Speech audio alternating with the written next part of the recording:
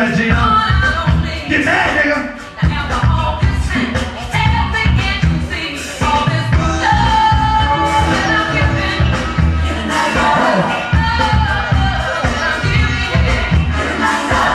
Yeah, brother.